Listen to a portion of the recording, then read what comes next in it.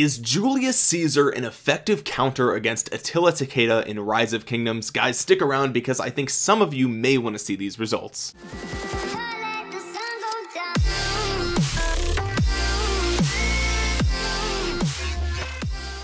What's going on guys? It's Omniarch. Cheers. Yeah, I ran out already.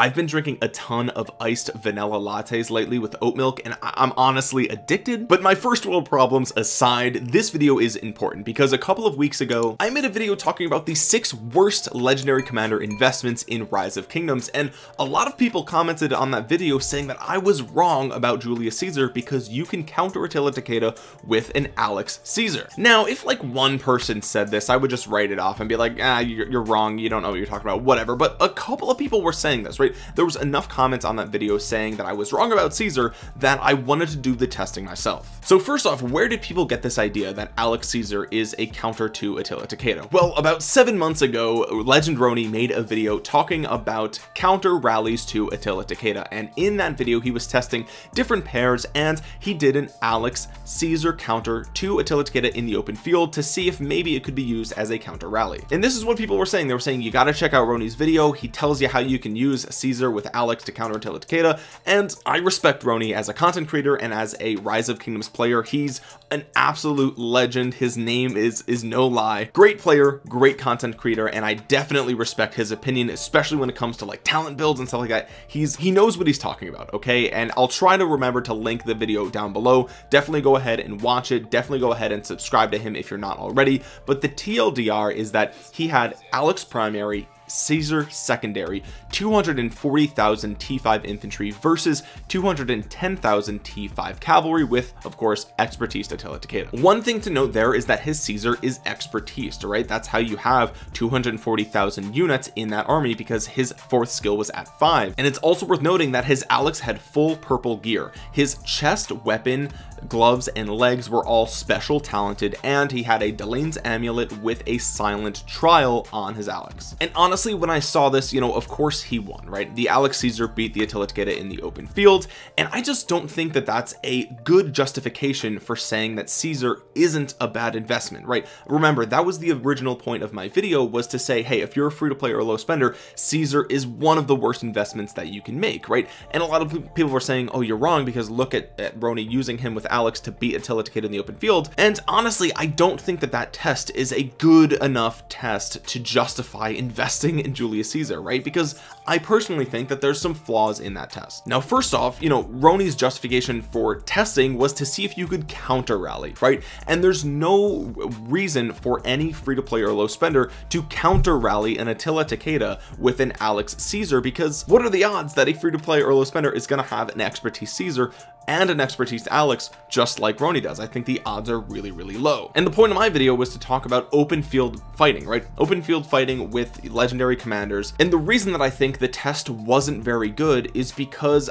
obviously Alex Caesar is going to win because he brought 30,000 more troops. I mean duh right? Duh of course you're gonna win. You have way more troops. So what I wanted to do is to see how Julius Caesar actually performs against Attila Takeda if he brings the same amount of troops right? Because again I don't think players if you're free to play or low spending are going to have this fourth skill at five. And if you're a free to play or low spender bringing more troops in the open field means that if you get swarmed in a non-testing scenario you have more troops to lose. You have more troops going to your hospital. Remember testing is a one-on-one -on -one, but real fighting in the open field is not going to be like that. So for the first battle I had me versus combat panda. Shout out to panda. You guys have probably seen him in my live streams and things like that. And here's the setup for the first battle. Neither of us are using any pieces of equipment that affect stats in any any way we have the same kvk tech because we are in kvk we both left our alliance. We have the same vip buffs. We neither of us had a title obviously and we both used talent builds for our armies just like Rhony did in his video because that's how things are going to be in real fights right? You know you could test them without talents to get more consistency of course but real fights are going to have talent builds right? And I think that that matters. So for the first battle what we saw was a slight victory for my Alex Caesar right? It was a slight victory which was nice to I had 25,000 troops remaining nearly 12,000 severely wounded. For the second test that we ran here everything was the same except we removed our city skins because my city skin gave you health whereas I believe his city skin gave you attack and I just feel like health is a better stat. So we ran the test again and this time I had about 18,000 units remaining with a little over 12,000 severely wounded. So Panda did a little bit better here with removing the city skins which is nice to see. And for the third test I discovered that his talent build wasn't what I thought was optimal right? So I gave him one of the talent builds from my website riseofkingdoms.org to put on his Attila and the outcome was better for him but I still ended up winning. I had about 15,000 units remaining 13,000 severely wounded. So in all three tests we can see it's pretty consistent that Alex and Caesar is going to beat Attila Takeda in the open field even if you have no points in Caesar's last skill. So a 5500 would be able to emulate this result. So you might be thinking Omniarch there you go. See we told you Alex Caesar beats Attila Takeda. To which I would say of course he does because infantry beats cavalry. But remember the point of the video was that Caesar is a bad investment. I think he's a bad commander inherently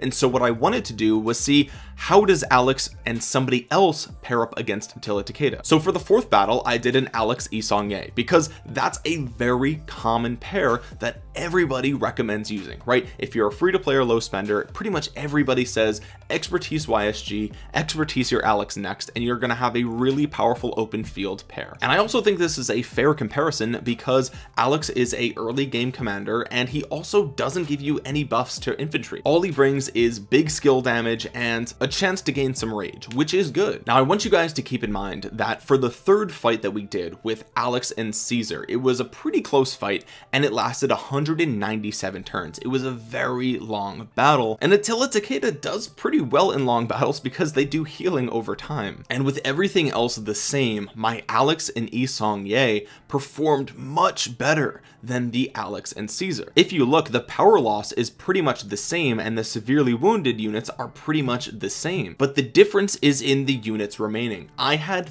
about 30,000 units remaining which is twice as many units remaining as I did with my Caesar. And the reason for this is because it only lasted 137 turns. It lasted 60 fewer turns because Yi Seong-Gye is so good at chunking down the enemy. So I didn't want there to be any flukes so we tested it again with the exact same setup and this time it lasted only 109 turns. I had 42.5 thousand units remaining and it performed much much better. Now since this was a pretty big difference from the previous round we tested it again of course and this time it performed slightly better than the first round but definitely worse than the second round which just goes to show that there's some randomness involved when using talent builds and of course Isong has the 10% chance to gain more rage. So I think for the second round with Isong we just got really lucky with Isong's second skill and we were popping off a ton more skills. But even still this third round was very similar to our first round with Isong with 31.7 thousand units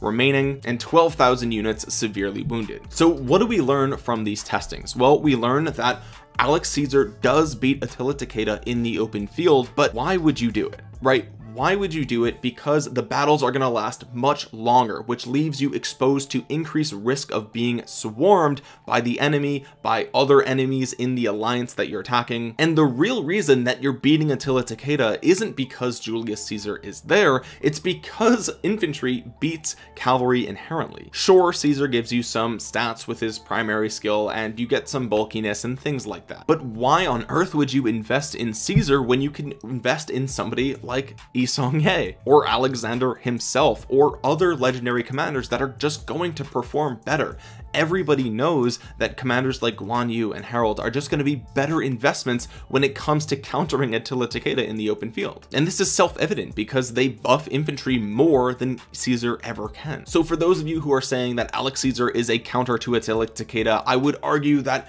you know maybe sure I guess if you want the battle to take a long time and you want it to drag on and you want to increase your risk of getting swarmed. But if you want to do things the right way I would say beat Attila Takeda with good command commanders and unfortunately Julius Caesar is not one of them. Guys if you found this video useful or entertaining or informative or anything like that make sure you drop a thumbs up on it. It helps this video get shown to other rise of kingdoms players here on YouTube. And if you're new around here subscribe to the channel and click that bell to be notified the next time that I upload a rise of kingdoms video. Comment down below any questions you have for me about this testing or about Caesar or anything like that. I try to respond to as many comments as I can. As always my social media links are in the description below so make sure you follow me over there on Instagram discord Facebook Twitter all that stuff it's always down below as well as a link to download rise of kingdoms absolutely for free for your PC it's a program called BlueStacks and it's my favorite way to play rise of kingdoms especially in open field war scenarios like kvk having rise of kingdoms on, on a bigger screen is just going to be a much better experience. And like i said it's free. If you don't like it you can always uninstall it but definitely give it a try. With that being said guys thank you so much for watching. This has been omniarch. I will talk to you guys again soon. Peace